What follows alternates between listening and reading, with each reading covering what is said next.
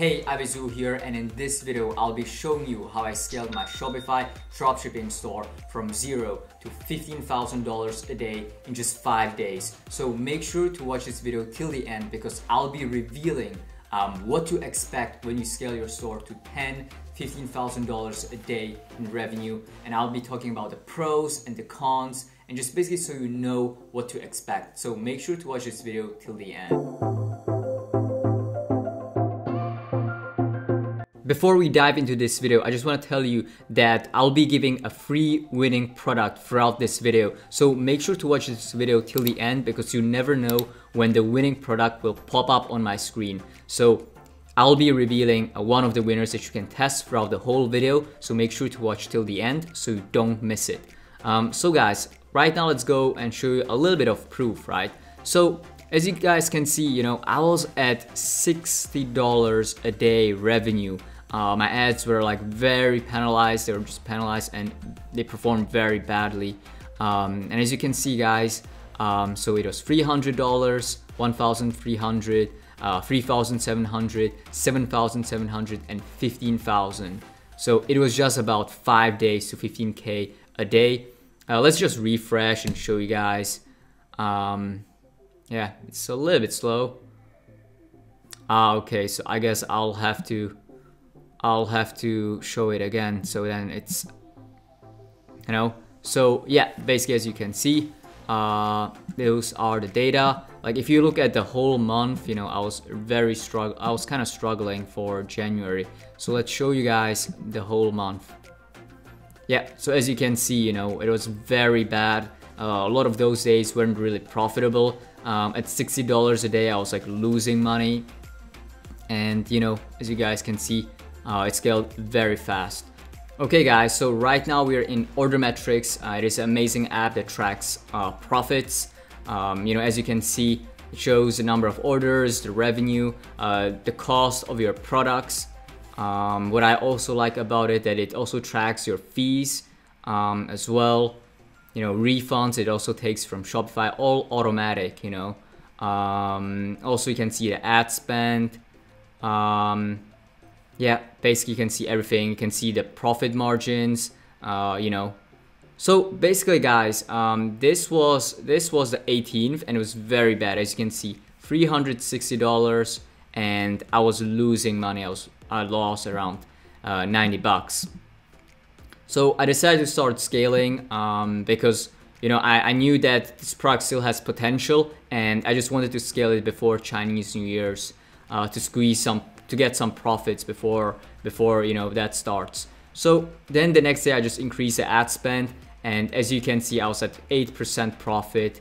Um, so it was getting better, you know, because before the conversion rate uh, like yesterday, uh, like the day before, you know, it was just like around 1%. So it just really improved. Um, and that, that wasn't like that. I didn't do any changes. It was just Facebook sending me better traffic. Uh, a lot of people they think like Facebook is very consistent, but the thing is, uh, a lot of ad incons- inconsistencies happen. You know, like people who scale, they they know that. You know, some days your profit can be 10%, some days it can be 25% profit. You know, so don't be worried if just one day is bad. Um, okay, guys. So then the next day it was 3,700. Um, I just like, really increased my ad spend. Basically, you can see um, can you also see the breakdown? Yeah, so I'm spending a 60 bucks on Google Ads and you can see, so it's 16% profit. And keep in mind guys, um, during that time I was still penalized. Um, so I was still penalized um, because I had poor customer feedback score, uh, like due to long, long shipping times with my supplier. Um, and but this this is now getting fixed for the like for the last two months. Um, I just got a better supplier and it's just improving. Um, so then the next day I increased the ad spend more. Basically, um, from the day before when I was three thousand seven hundred, I decided to increase my ad spend by four thousand dollars a day. I basically added a ton of hundred dollar a day ad sets and some campaign budget optimization uh, at 250 to 500 dollars and uh, as you can see um, I kind of doubled my ad spend so I didn't I didn't uh, increase it by 4,000 I added 4,000 in ad spend, but throughout the day, I killed a lot of ad sets uh, that weren't performing well. And as you guys can see, so at 7K uh, that day, uh, I made 14% profit. It was $1,000 profit, right? And let's go to the next day. So the next day was the 15K day. So I, I did the same. I just increased uh, my ad spend by another $4,000 and throughout the day I was killing. Um, I was killing ad sets basically. Uh, I was turning off ad sets and when you guys can see, so that ad spend just increased again um, by almost double, right? And that day was 19% profit, $3,000, almost $3,000 profit. You guys can see conversion rate also increased. Um, yeah, so let me just show you guys like at 15K a day how it looks like. So it's 300 orders. You know, I'm spending around uh, $5,000, so around 30, 33% on just products.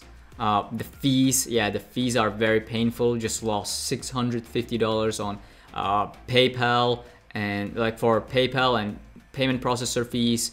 Uh, we had some we had some refunds. Uh, that's pretty normal. A little bit of refunds. And as you guys can see, so my product, uh, I sell it for $40, but because I have so many upsells and so many systems set up, uh, my average order value, value is almost 50. And the average order profit, instead of being 25, it is almost $31 per order. Um, you know, and as you guys can see, my average uh, ad spend per order, basically CPP, um, is $21. So a lot of you guys are selling products for I don't know 30 bucks with $20 margins, and nowadays it can be it can be rough, it can be tough uh, to operate with just $20 profit margins because you guys can see uh, my cost per purchase is around $21. Um, and by the way, so uh, basically my cost per clicks um, are very expensive, just $1 per click. You guys can see. So my ad spend is 6,400 and my unique visitors is 6,900. So around $1 per visitor I'm spending. Okay, so then the next day, um, okay, so then the next day, then the next day I didn't really try to increase my ad spend. I just turn off uh, some ad sets. And as you guys can see, uh, my ad spend just went down a little bit. Uh, but as you guys can see, um, the ads are inconsistent, you know? Uh, like my ad spend didn't didn't really didn't really change. But as you guys can see my revenue changed by 10% so this is basically Facebook you know? It's not like a machine that every day it's gonna be the same you know? Uh, but that day my average order profit went up to 32 yeah went went up to 32 dollars and the, the profit margins went to 17 uh, percent uh, which is which was $2,300 profit um, then the next day, guys, um, I got a notification from Facebook that my finally my customer feedback score went up. So it, it went above two, and basically my ads are no longer penalized. And just watch what happened when my ads finally got unpenalized, like depenalized, or what is it called? And guys, check this. So, so as you guys can see, um, that is not the end of the day, guys. That is still, um, I still have around five or six, I think I have like less than six hours left, like five and a half hours left to the end of the day. So I think I'm gonna end at 17K, right? And as you guys can see, I didn't really increase my ad spend, right? I even lowered my ad spend and my profit margin just went up by uh, just went up from I think like 17%, right? From 17% to 23% just like that, my conversion rate also increased, guys. So, you know, like you guys really should focus on your customer feedback score because like just in one day, it just really changed, you know. Like yesterday, it was pretty bad, the 23rd. So check this, guys. It was 17% profit, right? 17% profit. Um, and then and then just like when when I got unpenalized, it just it just the profit margin just went up by 6% just like that instantly. So then I also want to go into the ads manager as well and show you guys um, show you guys like what campaigns work the best for me as well. Okay, so right now we are in my ads manager and as you guys can see, um, yeah, so let me show you like a longer time frame. Yeah, so basically since, since I'm scaling, so it was around, I don't know, I think it was Friday. Yeah, Friday till now. Okay, so um, yeah, I, am gonna show you guys like all the ROAS. Uh, you guys can see that, right? So this is a CBO at $1,000 per day. Um, yeah, so it's 2.2.15 ROAS, um, which is my uh, so this this is basically my biggest campaign. So this is uh, this is a lot of hundred dollar a day ad sets, um, and as you can see, the ROAS on those is 1.11. Uh, the problem with those ad sets is that I'm testing a lot of ad sets. A lot of them are not working, and I have to kill them. So it's kind of like lowering the ROAS of that campaign, right? Um, so that's why I like C. That's why I like CBOs. So here, this one is a CBO at $250 a day, and the ROAS is just much better. To you know, you guys can see the cost of purchase $22. This is $19, right? And the CBOs are overall slightly performing better, like $19 cost of purchase, $20, 20, 21, and here it's around 22.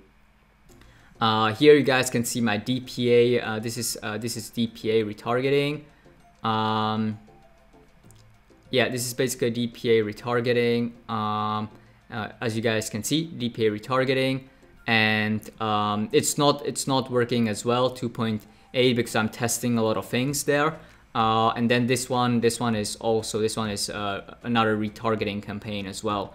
Alright guys, let's talk about the reality and the like what to expect when you scale to 10k, 15k a day. A lot of people they promote dropshipping as like a laptop lifestyle, just be on a beach, chill, you know, enjoy your time. And yes, it can be like that, but it's not gonna be like that from the beginning. Um, with dropshipping, you know, in the beginning you just do a lot of work, you learn a lot of skills, and then you test products, right? And once you hit your home run, it's gonna go very fast. You're gonna scale very fast. The first time I scaled, it took me, I think, uh, from zero to, to 10K a day, it took me 17 days to just scale up, right? And it wasn't, it wasn't just like all sunshine and rainbows. Um, during like during that time when I scaled, you guys can check my older videos. And basically during those times, I was just so stressed. Um, it was kind of when I was scaling, it was kind of like a mix of anxiety and like excitement. I was so excited that I was like seeing success and progress. But on the other hand, I just felt a lot of anxiety because it was just out of my reality, like making so much money. And also like since my background, you know, my back my background was just like eight years of failure, and then finally like seeing success and just like so much success or so much growth in just a short amount of time. It was just out of my reality and I was just all day, I was just like anxious and excited at the same time and I just like wasn't able to even sleep. So I was probably working like 20, 22 hours a day. Like some days I wasn't really even sleeping because it was like very, like it was so overwhelming guys. And I also talked to some of my other friends who scaled uh, like last year, like around October or November, and they had the same experience it was their first time basically scaling and they they just you know they, they were just like so excited and anxious at the same time so you know guys don't think that dropshipping is going to be like you work four hours um, per week you know? That's that's not a four hour work week. In the beginning it's a lot of work. Then you know once you scale once you systemize your business you hire vas um, it's going to be way more manage manageable. You can probably work like 30 to 60 minutes per day basically uh, to manage uh, like your business you know? Another thing that a lot of gurus are not talking about is they're basically teaching you how to scale but they're not teaching you like how to like what to do after you scale or what to do during scaling and a lot of people they just kind of scale and they don't they don't have like much experience um, with like what to do next and they make a lot of mistakes uh, for example me um, I basically scaled very fast and I had a bad supplier and I wasn't aware of it. And that supplier caused so much issues with customer feedback. Know, I almost lost my Facebook ad account. Probably lost. Uh, I almost like got banned by Facebook because if they if they basically ban your Facebook page, they'll probably also ban your domain and your business. Um, so that is very scary. So I almost lost my Facebook's uh, Facebook uh, ad account, and I also almost lost my PayPal account because I got so many disputes from a bad supplier. Um, there's other things, you know. I basically also got scammed uh, by an accountant, you know. So there is a lot of things, guys, and like people people don't really talk about that. But you know, um, Shopify dropshipping is not just about scaling and then just like living on the beach. It is actually building a real business. Um, what I'm doing nowadays, it's I'm not focusing on like product research on, on like some random Facebook setting, uh, Facebook settings. What I'm doing nowadays is I'm talking to tax advisors, I'm talking to accountants, I'm going to banks, uh, talking about getting custom rates. I'm going to PayPal, uh, talking about getting cheaper fees. You know, this is the stuff that I'm doing. I'm also hiring people. Um, I'm looking for people to hire like experts for like I have an email marketing expert. I'm probably gonna hire someone for Google Ads again. You know, so this is like a lot of people they think like this is um, like a get rich quick scheme or this is like a laptop lifestyle on a beach. Um, it can be, you know, it's definitely not a get rich quick scheme, uh, and it can be like a laptop lifestyle and chill on the beach. But like when you start as a beginner, you know, it's not gonna be like that. It's a lot of hustle, right? So guys, don't listen to these gurus, you know, trying to like sell you the lifestyle and the cars and stuff like that, and like the just like working one hour, um, like one hour a week or something like that. You know, this is not passive income. This is building a business. Oh, I also forgot to mention uh, in my video is uh, about the thing with like scaling is um, what you should expect when you scale the first time as well is that you will be at home a lot. Like there are times where I don't leave my house for three days in a row or four days in a row. I'm kind of like a cave dweller or something like that. It's really strange, guys. Like I'm shooting YouTube videos uh, for you guys, but like I'm not really going out of my house. And like when you scale your first time, it's gonna be like so much work. Um, it's gonna be like you're gonna have um, you're gonna be dealing with like your supplier, uh, PayPal, Facebook. You know, um, there's gonna be a lot of things just happening very quick. And usually, what happens is you're just gonna you're just gonna work a lot. Um, you're gonna work probably like 60, 16 hours a day or something like that. Um, in my personal experience, when I scaled the first time in October, which you can watch my older videos, I think I was like sleeping. Yeah, I was sleeping like very few. I was sleeping like uh, two hours a day or something like I was working like 20 hours a day 22 hours a day um, and like I wasn't even like eating. So uh, I personally like lost like I think 15 to 20 pounds of weight. Um, so right now I think I weigh like 100 or 105 pounds which is 40 I think like 47 kilos. So, something like that. This is how much I weigh. So I lost a lot of weight. I talked to other friends who like scaled uh, basically they like a few of them also the same thing happened to them. Uh, they were just like really overworked you know uh, they lost weight and they didn't really have much time for anything else and they're just kind of like uh, cave dwellers. But that's totally fine guys. Like this is the first time like you're building your business and the first time it's going to be a little bit chaotic a little bit stressful. But like once you learn more like once you like have more experience under your belt it's just gonna bet it's just gonna get better and better. Uh, right now, this is like my second wave of like really scaling, and I think I'm like handling handling it much better. The thing is, um, I'm still kind of like not used to scaling as much because I just hit my record. Um, so yesterday, that day ended at 17k. And the thing is, guys, um, like whenever I go to bed, right? Uh, whenever I go to bed, mm, like my ad account is set to LA time. So the midnight of LA time is basically uh, 9 a.m. for me. So whenever I go to bed, um, it's basically I'll have another eight hours of ad spend, which I don't really know what is happening, right? So whenever like the thing is like I'm sometimes like a little bit worried like to go to bed because like I'm like man like are the ads just gonna mess up or something like that? Like is something gonna mess up with Facebook and then like the whole night you know the ads will spend unprofitably and I'll lose all my profit you know um, so I'm kind of like still kind of paranoid, but the thing, guys, um, it's been all good. You know, it's just me being really paranoid. So don't really mind that. Um, anyways, uh, I hope you guys uh, like this quick update and like this like a vlog style video. I'm a really I'm like really not used to vlogging. Um, the camera is pretty heavy. So, you know, um, I hope you guys, I hope you guys enjoyed the, this video. Uh, make sure, make sure to subscribe, you know, uh, share in the comments, like what you guys want to see. Um, like what else you guys want to see, like what kind of video topics. Uh, I'll make sure to show you as much as possible. You know, um, i am thinking that I will release a video where, where I'll show you some actual like ad sets, you know, like the targeting and stuff like that and explain to you guys some, some things. Um, anyways, uh, see you in the next one.